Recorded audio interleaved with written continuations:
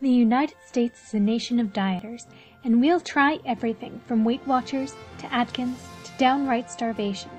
Stick with me today as I talk about the history of dieting.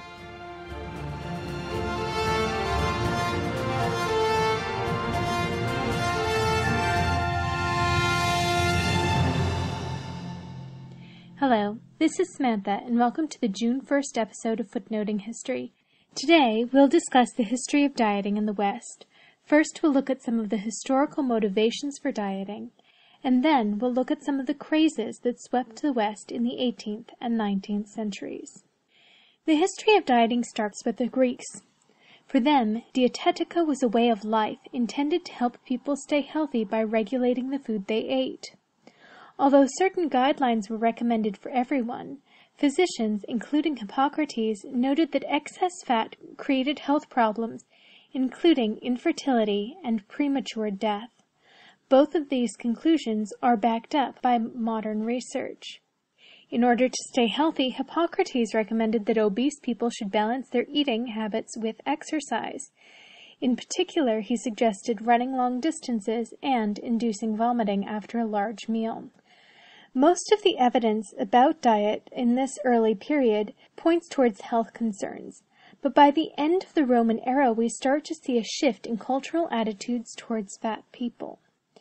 The early Christian ascetics, including individuals like Saint Anthony, literally starved themselves. Here the point was not to be thin or to be healthy, but rather to punish the mortal flesh and to glorify God. Over time, this glorification of deprivation evolved into a negative attitude towards fat people. By the end of the Middle Ages, corpulence was recognized as an outward, unhideable sign of one's innate sinfulness, evidence of gluttony, one of the seven deadly sins. It's no coincidence that saints are generally depicted as rather trim figures, even when they were, in fact, more rotund, like uh, Thomas Aquinas. These harsh ideas about fat people being innately sinful can still be found today. Obese individuals are often viewed as greedy, lazy, or stupid. Although a few medieval writers were concerned with diet, arguably the first best-selling dieting book was written by Bartolomeo Sacchi in 1470.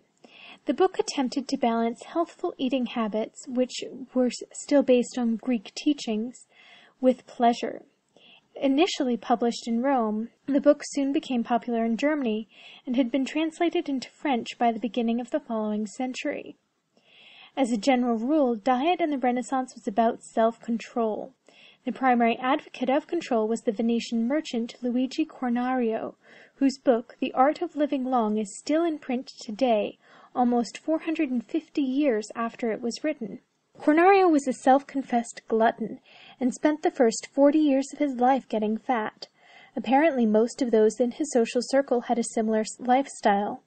And as he witnessed them getting sick and dying young, he decided he had to regain control of his life. And so he began a diet. He believed that the way to live a long life was to avoid the sin of overconsumption. Pleasure, simply put, was a killer. Often seen as the originator of the low-calorie diet, Cornario wrote that in an ideal day one should eat only 12 ounces of bread, soup, egg yolks, preferably raw, meat, and 14 ounces of wine. Contrary to modern ideas about diet, many of these early regimens were very restrictive of fluid intake, and virtually none cut out booze. By the end of his life, Cornario had taken his diet to an extreme, and his granddaughter wrote that on a typical day he would consume only one or two egg yolks. As he dieted, Cornario did get thinner, and he believed that he regained not only his health but also his masculinity. And to me, this is the third key of dieting. By dieting, we're trying not only to prove our moral worth and to become healthy, we're also trying to alter the way that we are perceived in the world. So now that we've covered some of the basics, let us enter the weird world of dieting. And let's start with the diet of George Cheyne, a 17th century doctor. Like many other dieting gurus, Cheyne was obese. He had suffered from depression and perceived a strong correlation between his emotional state and his weight. After moving from Scotland to London, he ballooned to nearly 450 pounds. When he returned to Scotland, he desperately tried to lose the weight. First, he gave up suppers, meat, and drinking, but he found that when he did this his isolation and his depression got worse. He then shifted to the milk diet, which appears to have really worked for him. Initially devised as a cure for epilepsy, this diet meant eating only milk products, seeds, breads, roots, and fruit. Later, he began eating only milk and vegetables. Once he was on the mend, Cheyne moved to Bath, where he set up a very successful practice where he disseminated his diet. His female clients were advised to drink a milk punch made of oranges and milk. They were also encouraged to bathe in milk mixed with warm water and brandy. There is no way of knowing exactly how far this diet spread, but it was popular among the wealthy visitors to Bath. It was also used by several famous writers and philosophers, including David Hume, John Wesley, and Alexander Pope, and it inspired at least one milk-themed restaurant in Paris. By the 19th century, celebrities began to play a significant role in, in shaping eating habits. By far the most important dieting figure of the early part of the 19th century was Lord Byron, the mad, bad, and dangerous to know poet. Like many other diet writers, Byron struggled with his own weight. At his height he may have weighed as much as 420 pounds. However, he quickly dropped down to a mere 137 pounds and managed to stay there once he began his dieting regime. There is a good chance that Byron was actually anorexic, and he was certainly obsessed with his weight and proudly described himself on at least one occasion as as thin as a skeleton. Again, like those before him, Byron achieved weight loss through deprivation. Most of the time he ate nothing but biscuits and soda water. When those were not available, he would eat potatoes drenched in vinegar. In fact, Byron was a huge fan of vinegar for its appetite-suppressant qualities. He also consumed Epsom salts, magnesia, and strong laxatives. What made Byron so dangerous was that he was incredibly popular. He had followers, and he did not hesitate to make his preferences about how they should live known. Byron was particularly intolerant of heavy women. Women, he said, should never be seen eating anything other than lobster salad and champagne. But then, of course, when his own mistress became too thin, he dumped her and criticized her new shape. In England, it seems there was a whole generation of girls dosing themselves with cups full of vinegar each day to try to attain Byron's ideal. It's also thought that Byron's influence may have caused fashionable men to start weighing themselves regularly. Um, and this may have actually had a, a, real impact on the way that we view obesity. We started defining ourselves by weight rather than by appearance alone. Around the same time, Brillat Savarin, a French lawyer, came up with the first low-carb diet, which forbade eating starches, sugars, and all foods made with flour. If this was not enough to lose weight, then starvation and additional exercise should be used to supplement the regimen. He also invented an anti-corpulence belt, which should be tightened each night in order to help force the fat off the middle, and he advised his followers to take quinine to combat weight gain. Although advocating fairly drastic measures, Brillat Savarin condemned the followers of Byron for taking things too far, and wrote a detailed case study of a young woman he had known who, after taking up the vinegar diet, succumbed to horrendous nutrition and died. The low-carb approach to dieting became much more popular towards the end of the 19th century with the creation of the Banting system. This approach became so popular that the phrase I am Banting became synonymous with dieting. The originator of the system, William Banting, was actually an undertaker in London, and he devised the system for his own benefit, using it to shed nearly 30 pounds in the first few months. Rather than copying earlier dieting writers, Banting took his cue from farmers and specifically avoided the foods that they used to fatten animals. However, he feared that his system would not be appreciated, coming as it did from someone with absolutely no medical qualifications or celebrity, and so he originally printed his pamphlet at his own expense. Nevertheless, it quickly caught on across the world. Perhaps one of the greatest perks of this particular diet was that unlike most of those who came before him, Banting absolutely forbade his followers from starving themselves, and he did not impose an excessively regimented system upon them.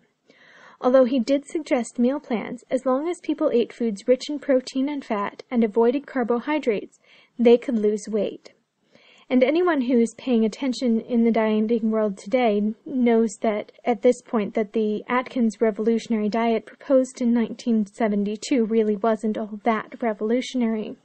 Another popular dieting craze, devised by Horace Fletcher at the end of the 19th century, involved chewing. That's right, chewing.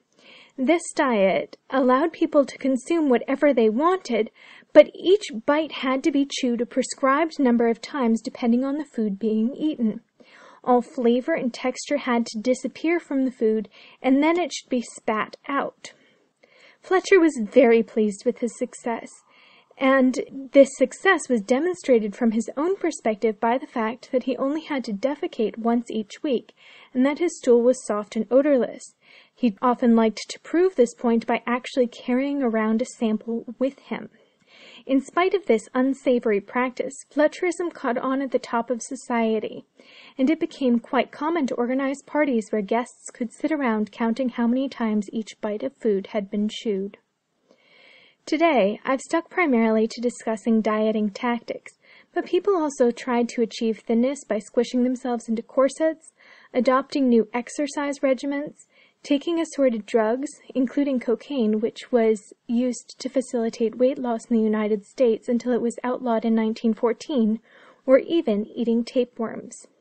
As time progressed, so too has the desperation to get slim or to stay slim. In the 1920s, in particular, women sought to stay straight and boyish. The shape that they wanted could only be achieved through starvation, and even when curves came back into style in the 1940s, women were expected to stay slim around the middle. It's not entirely clear why the obsession with slimming has gotten worse over the recent century. It is possible that our obsession is in part driven by the fact that Americans are getting fatter, possibly because we now live a much more sedentary lifestyle than our forebears. Another interesting hypothesis has been put forward by Peter Stearns, who sees the growing hatred of fat in America as an answer to consumerism. He believes that Americans became obsessed with staying trim in order to assuage our guilt for having too many things. Instead of giving the things back, Americans living at the turn of the 20th century created a new, almost devotional obligation. Staying thin became a personal challenge, and failure was met by self loathing, as it is still today. I would like to add, however, that regardless of the reasons for the continued dieting craze, many of the diets that we try now have been tried before and have failed. Meanwhile, dieting itself has become a hugely commercialized industry which is aimed at getting consumers to spend money and to feel dissatisfied. Perhaps we do well to return to the Greek philosophy of just trying to eat well rather than trying out every new gimmick. This has been Footnoting History. If you like the podcast, be sure to check out our website, footnotinghistory.com where you can find further reading suggestions related to this week's podcast, as well as links to our Facebook page and Twitter feed. Join us next week for the second installment in our Running in History series, when we'll be looking at competitive running in ancient Greece. Until then, remember, the best stories are always in the footnotes. See you next week!